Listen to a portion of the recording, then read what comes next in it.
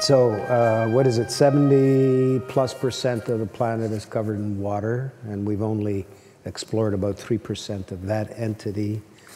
Um, the bulk of the planet is beetles. Go figure. Dark matter rules in space. We don't know very much. And here's another realm of the peculiar. Marlene Zuk, she um, researches insect sex, and she says, as someone who works on sexual behavior in animals, I've grown used to getting a lot of off the wall questions about curious, from curious members of the general public. Topping the list is homosexuality and whether it occurs in species other than our own. And another inexplicably popular area of inquiry is whether animals exhibit oral sex. How would you know in the case of beetles? and is there any cure for this infestation along the lines of sex? Is that a way that we might possibly stop them?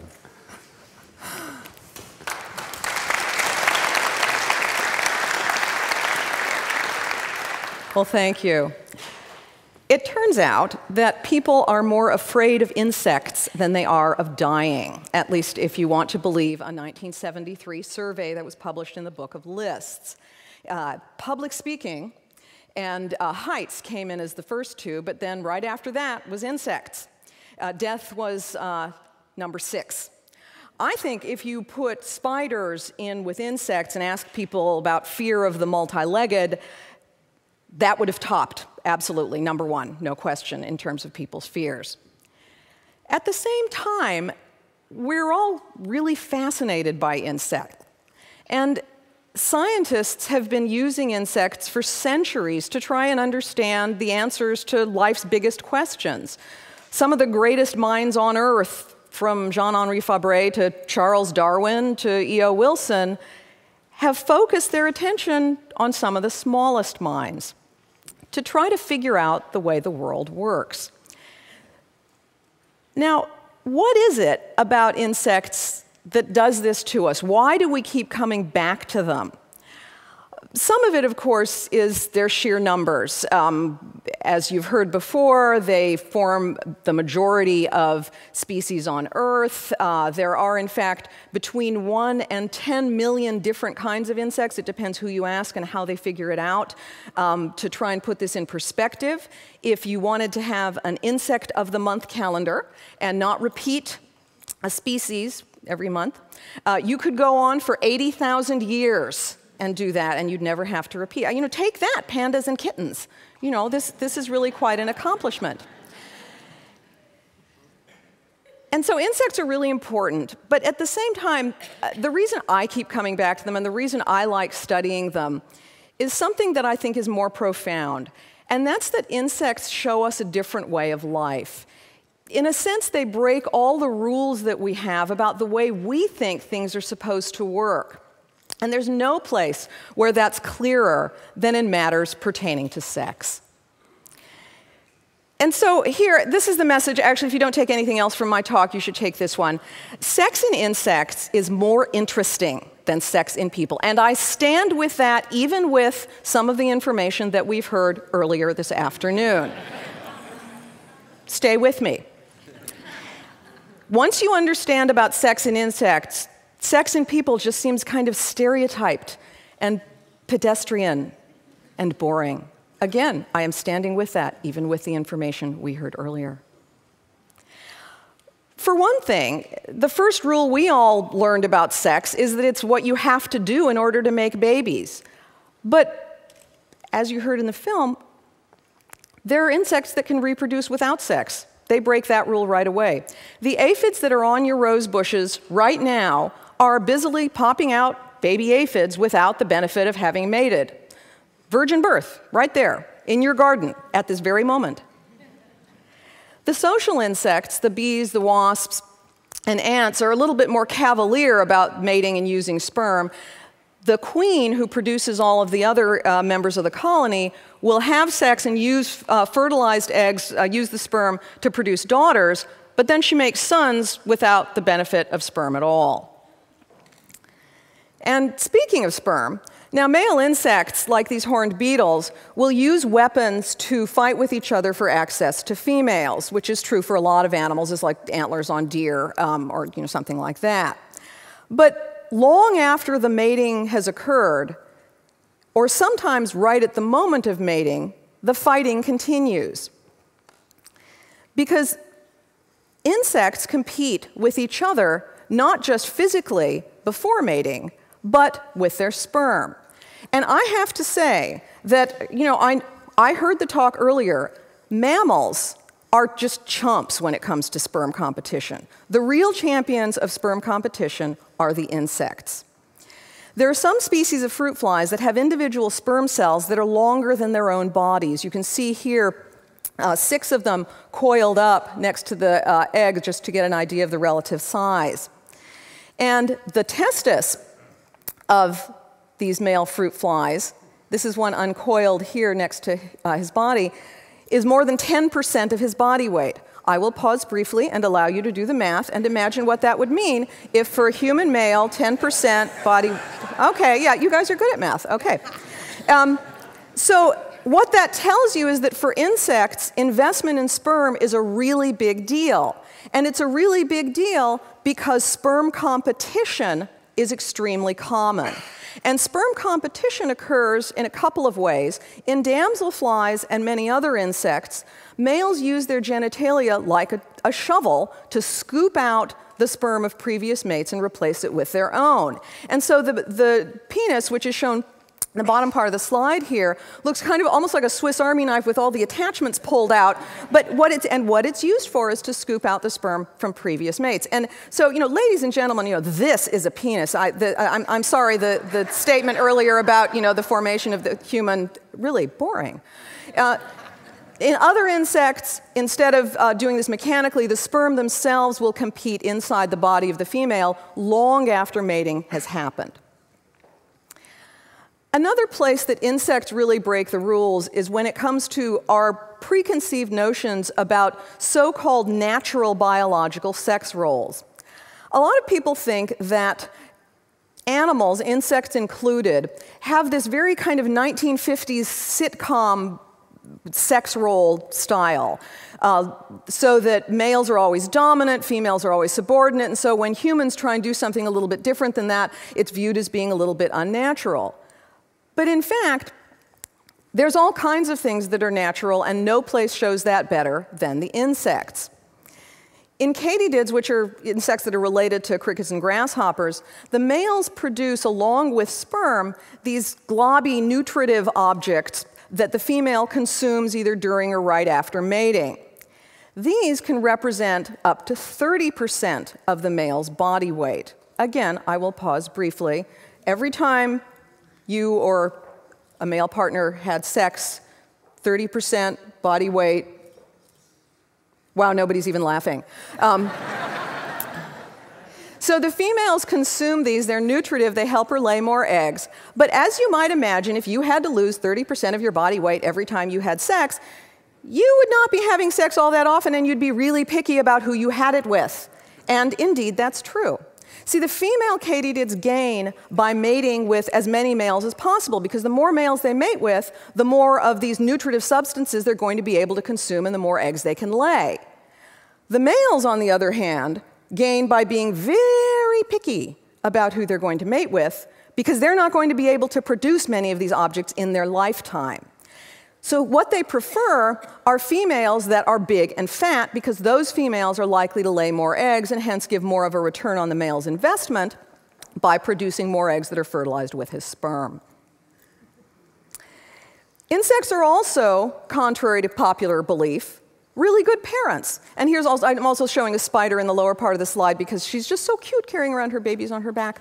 Um, the male, uh, the uh, insect at the top of the slide is a male giant water bug. And he takes the eggs that are laid on his back by the female, he fertilizes them with his sperm, and then he swims around with them in the pond or stream. And they're heavy. I mean, it's a big deal carrying them around. Uh, so he swims around with them. Even after they hatch, he takes care of them. He provides a really extended period of parental care, which is not something we tend to associate with insects. Now, that's interesting for two reasons. One of them is that, look at this single dads, perfectly natural all over the animal kingdom. The other thing, though, is that we often say in humans that the reason we have long periods of childhood and dependency and you know, kids needing college funds and you have to spend forever with them and they take two parents and it's a huge amount of work is that, well, we're so intelligent, we have such big brains that obviously children need a long time and a lot of investment in order to get to function in our complex society. Well, I mean, I love water bugs, but even I am not going to argue that they're, you know, candidates for Mensa or that their societies are particularly complex, and yet they have extended periods of parental care. So what insects can help us do is question what it, some of our assumptions about, in this case, what parental care is really all about. But there's no place where our assumptions get challenged more when it, about, with insects than when it comes to the sex of social insects. Now, some of you may remember Bee Movie from a few years ago, in which Jerry Seinfeld played a slacker worker honeybee who was seeking to escape the tedium of the hive or factory. Now, whatever else you might think about Jerry Seinfeld, it is absolutely undeniable that he makes a terrible worker honeybee. Uh, not because of any of his talents, but because all worker honeybees, all of the bees you see flitting from flower to flower, gathering nectar, going back to the hive, all of the worker ants that you see going across your kitchen counter into the sugar bowl or whatever, all of them, all of them, every single one is a female. There are no worker male social insects. Now, this is a mistake that, you know, thinking that, that the workers that you see are, are uh, male is a mistake that turns out to have a very long history. For centuries, people thought that the social insects were male dominated. The ancient Arabs and Greeks referred to a bee king or a bee father as being in charge of the colony. The Greeks assumed that because the workers have stingers, that meant that they had weapons, and so of course they must be male because you know, females wouldn't have weapons. Uh, the Arabs kind of viewed the whole system uh, like it was a giant military, so there were generals and other officers, and then again the soldiers with the weapons, and of course everybody was male. Uh, Aristotle was very puzzled by the whole thing because he knew that in addition to the workers and the what we now know as the queen or the, the leader in any event, uh, there were drones. And so those are actually, as it turns out, the males. But he, he saw that there was this other group of bees in the hive, but he couldn't figure out how this would all work because if the workers with their weapons were female, or sorry, were male, and then they came back to the hive and the drones were just kind of lying around doing nothing while the workers continued to do all the work and take care of the offspring. Well, that didn't seem very masculine. But then that would mean that the drone, anyway, he just got utterly confused. At one point, he threw up his hands and said maybe the sex organs of both sexes were present in a single bee. Uh, that's actually also not true. Um, it took until, in fact, the late 1600s for a Dutch scientist, Jan Swammerdam, to determine that, in fact, there are three classes of honeybees the workers and the queens, which are both female, the queen does all the reproducing, and the drones, and the drones are male. They exist for a very short period of time. They leave the nest, they fly in search of a virgin queen to mate with. If the, I always tell my students, if they're uh, the drone is really lucky. He finds a virgin queen, mates with her. Immediately on mating, his genitalia explode. He falls to the ground and dies. Um, and I always point out that this is the best possible outcome uh, for him because, of course, the alternative is he just dies anyway after a couple of days and, you know, will not have left any genes to the next generation. i have never been, I don't think my students ever really believe that, but, uh, but it, it really is true. So people have told a lot of stories about honeybees and a lot of um, cultures and groups have held them up as models because of their cooperation, their industriousness. The Masons, the Mormons um, have all used uh, hives as symbols. For a little while, um, the uh, the Victorians uh, in England knew that uh, they did figure out that the workers were female, and they knew they didn't uh, reproduce, and so the uh, worker honeybees were held up as an example for young women because of their chastity. Um, although I'm not sure that ever really worked out as much of an inspiration. Uh, and despite this, though, I found that people, a lot of people, really have not gotten the memo about this. And that includes my students. And I want to read you just a very brief snippet from my book, Sex on Six Legs. about uh, an exchange that I've uh, had about social insects and their sex. So, after my lecture on army ants, which are the legendary voracious consumers of everything in their path, a typical exchange with a student will go as follows. So, Dr. Zuk, you, you know about the ants? What about them? Like, you said all the workers were female, but what about the army ants? Their workers are female too. Yeah, but what about the soldiers, the ones you said have those huge jaws and everything? They're female too. So, really? The soldiers? The soldiers are female? Really? At that point, the student usually slouches off, eyeing me skeptically. I always feel like I've let them down, but it's not really clear how. So, okay. I mean, a lot of people make mistakes about this. Obviously, there are, um, uh, you know, still more films that make this egregious error. And so, seriously, it is not his day; it's her day. How hard is this? People really should be getting it right. I mean, at the same time, uh, you know, people sometimes, I know I have a thing about this, and people sometimes will say, you know, come on, students make all kinds of mistakes. Uh, you know, you're always reading about polls in which students, you know, don't know where Afghanistan is, or they think World War II was fought in the 1600s.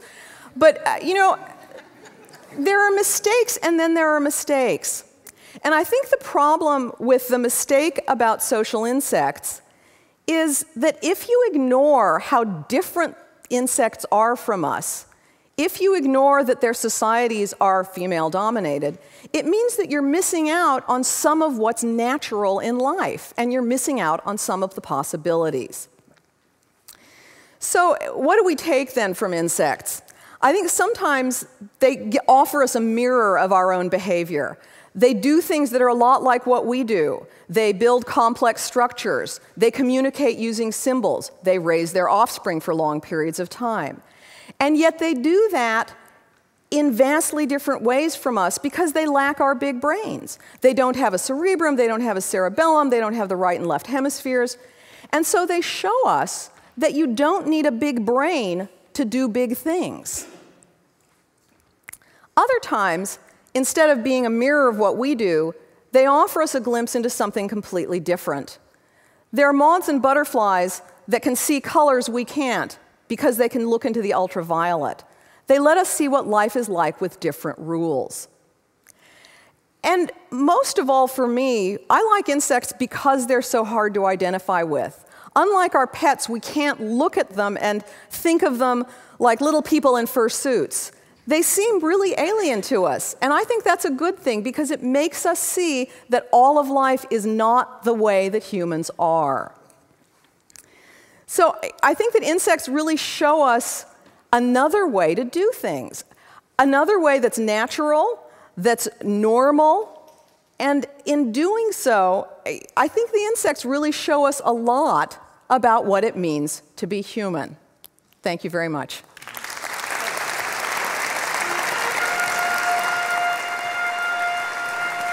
Lovely, Marlene.